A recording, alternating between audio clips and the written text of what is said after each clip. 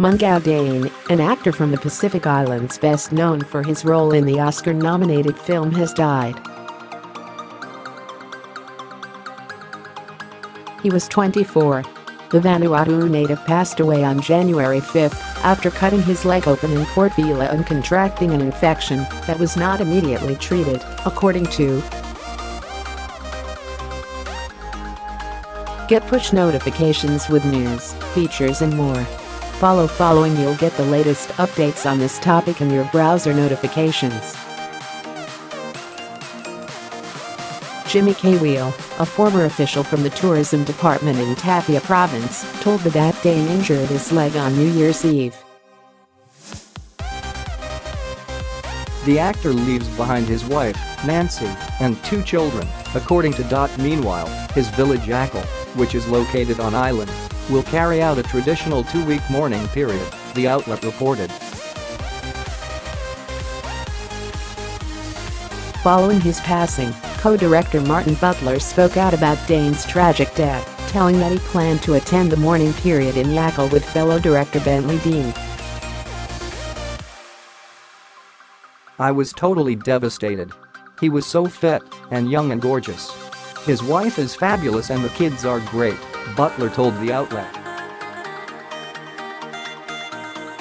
He was a great example of how you can live a totally different type of life and still be completely happy.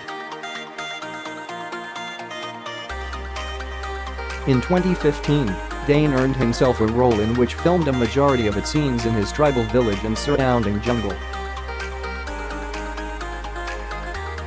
With a cast primarily made up of locals who had never acted before, the type plot centered around a forbidden love who find themselves entangled in trouble after one is led towards an arranged marriage. The film earned a number of accolades, including two wins at the Venice Film Festival, and was nominated for an Academy Award in 2017 for Best Foreign Language Film, according to its IMDb page. But for Dain, who played himself in the adventure drama, being the leading role in a critically acclaimed film was something he had never considered.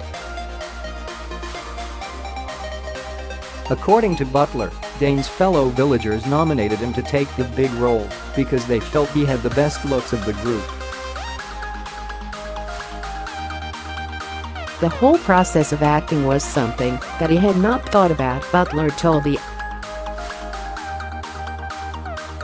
I don't think at that stage he had seen a movie.